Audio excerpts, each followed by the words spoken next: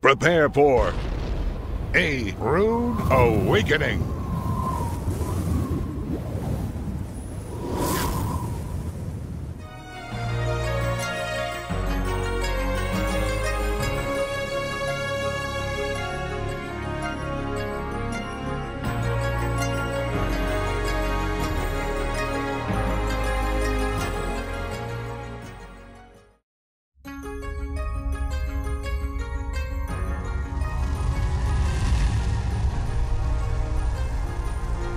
4,000 years ago, the Creator of the universe made an everlasting covenant with Abraham. All the land, from the Euphrates to the Nile, belongs to the sons of Israel. Shock waves will shake the earth as heaven reaches down to fulfill that promise. Traditions. Traditions can blind us from the truth and cause us to wander in the myopic fog of man made religious systems for an entire lifetime. Many of the traditions of the Western Gentile Christian Church are merely adapted pagan sun god worship rituals inherited from our ancestors. They were forced to compromise with the Roman Emperor Constantine or lose their life for refusing to bow. Most of these traditions were imported directly from Babylon. In fact, there's not a single religion practiced upon the face of the earth today that has not been polluted by Nimrod's rebellion against the one true God. I'm Michael Rood. Prepare for a rude awakening.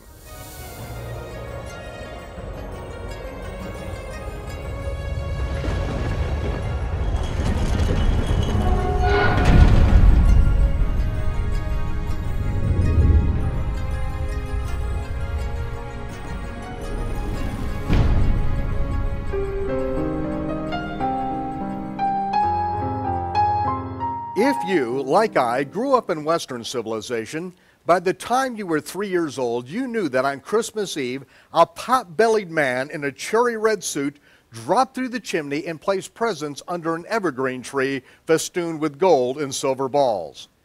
Christian children were told that this was a celebration of the birth of the baby Jesus.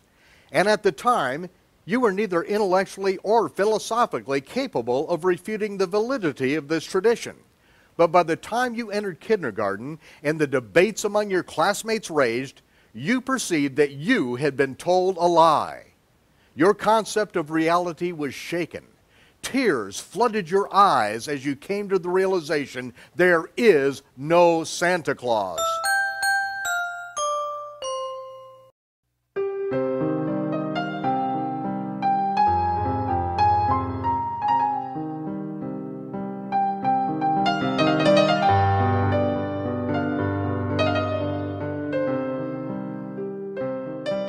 The Hebrew Scriptures expose the perverted traditions of man made religions and offer reality to those who hunger and thirst for truth.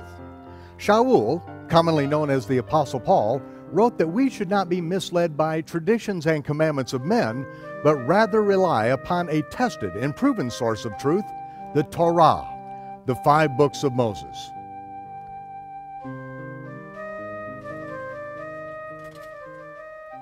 The children of Israel camped at Mount Sinai for an entire year as Moses passed on the instructions from the Creator. These instructions, called Torah in Hebrew, taught us how to govern ourselves and throw off the shackles of man made religious, political, and economic systems. Joshua, or as many know him by his Gentile nickname Jesus, warned his followers that traditions promulgated by religious leaders are like leaven or yeast which once mingled with dough cannot be removed. Without the Torah of God, it is impossible to separate the traditions of men from the rules of the Almighty. Rudimentary explanation. The English word tradition is derived from the Latin tradiere, which means to lay into the hands of another. When someone lays something into your hands, you expect that the intention of the gift is good. Thank you but it is the responsibility of the recipient to inspect the gift. Yeah! Traditions can be good or evil. The recipient must carefully inspect that which is laid into his hands. I hate when that happens. Jeremiah said that in the last days the Gentiles would come to Israel and cry out in repentance Surely our fathers have inherited lies. If our fathers inherited a lie, what they pass on to us does not magically become the truth by virtue of their sincerity. Traditions are given to us in innocence and accepted in ignorance. We are like the blind following the blind. Those who are leading us may not have any intention of misleading us, but they are nonetheless blind. And we will both certainly fall into a ditch unless we have our eyes open to the truth. But what is truth? Truth means reality, that which is. Truth is reality whether one believes it or not. One can believe a lie his entire life, and it will never change into truth just to suit his belief system. If we are to live the truth, we must be willing to constantly challenge the traditions and teachings that we've inherited from our parents and religious systems, as well as our own thinking patterns. I was an adult before I questioned the pictures in my mind of Daniel as a young boy standing safely in the lion's den. Once that picture was embedded, I had no reason to question its validity. Years later, however, a new picture developed from the scriptures an old Daniel, 80ish, who had been a ruler of Babylon under Nebuchadnezzar, Belshazzar, and now Darius, who was tricked into commanding that Daniel, his vice president, be executed. Daniel and his Jewish companions, Hananiah, Mishael, and Azariah, were raised in Jerusalem and taught the scriptures from their youth. When they were carried away as captives into Babylon, they were renamed Belteshazzar, Shadrach, Meshach, and Abednego, and made eunuchs under the care of Ashpenaz, master of eunuchs, and trained for service in the court of the king. Daniel was promoted to prime minister under King Nebuchadnezzar and was made an extremely wealthy young man. Daniel was multiplied in wealth twice more during the reigns of Belshazzar and again under Darius the Mede.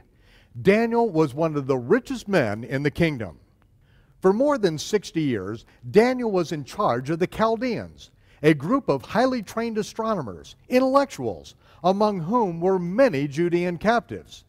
Near the end of his life, Daniel was visited by the angel Gabriel and given very exact timing concerning the coming of the Messiah but he was also instructed to seal up some of the information. Apparently, it was for him and for him alone to understand and act upon. Daniel died in Babylon a eunuch with no heir to whom he could leave his wealth. It would be the acme of foolishness to assume that a man as wealthy and prophetically well informed as Daniel would not have made very careful plans for the distribution of his treasure.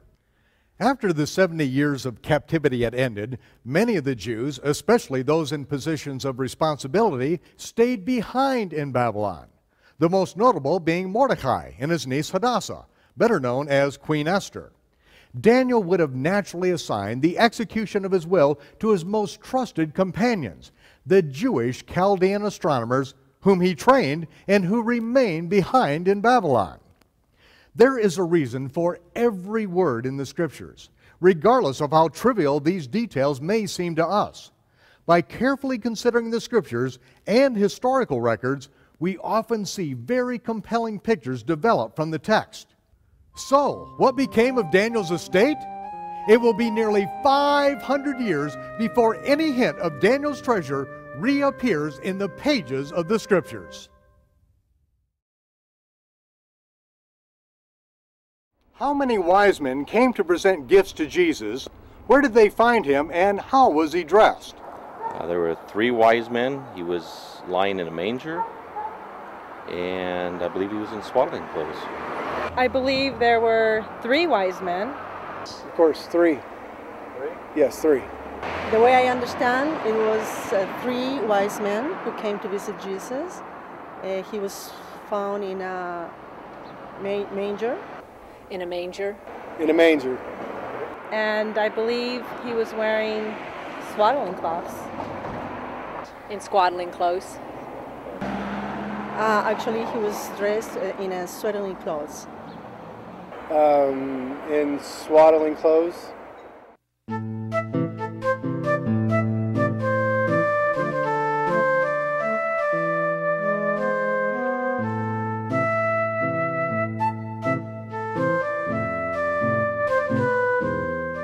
Ask the man or woman on the street how many wise men came to present gifts to Jesus. Where did they find him? And how was he dressed? As you can see, the common answer is three wise men found the newborn babe wrapped in swaddling clothes lying in a manger. That, however, is not the testimony of the scriptures. We read in the King James Version of Matthew's account that an undesignated number of wise men, in the Greek magi, came to the house where they found the young child, Yahshua, living with his mother Miriam and Joseph. In the Gospel of Luke, we read that only the shepherds arrived at the manger. Sorry for this rude interruption, but Yahshua was actually born on the first day of the Feast of Tabernacles, the 15th day of the seventh month on the biblical calendar, which always occurs in autumn, not December 25th when the pagan sun gods were said to be born. His birth was an intermediate fulfillment of the Feast of Sukkot, or mangers. It is the same word in the Hebrew language. Joseph was required to live in a sukkah or tabernacle during the entire seven day feast. Miriam, his pregnant wife, was not required to live in the sukkah, but the Bethlehem bed and breakfast was completely booked. So she joined her husband in the sukkah on the first day of the Feast of Sukkot and delivered her firstborn son in the sukkah. That is the moment when the Word was made flesh and Sukkoted or tabernacled. In the King James Version, dwelt among us.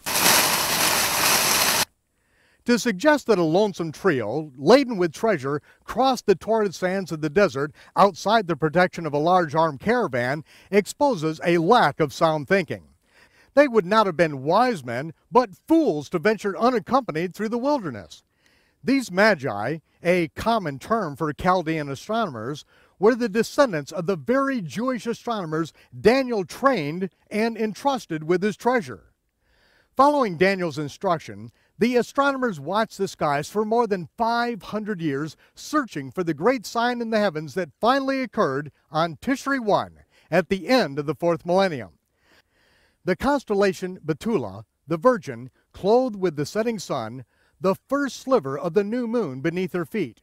And in the twelve stars above her head, the planet Hatzadik, the righteous, came into conjunction with the star Hamelech, the king, in the constellation of Ariel, the lion of Judah. On the first day of the month of Tishri, on Yom Teruah, the day of trumpets, this one-time celestial alignment announced the upcoming birth of the Melech Tzaddik, the righteous King of Kings, the lion of the tribe of Judah.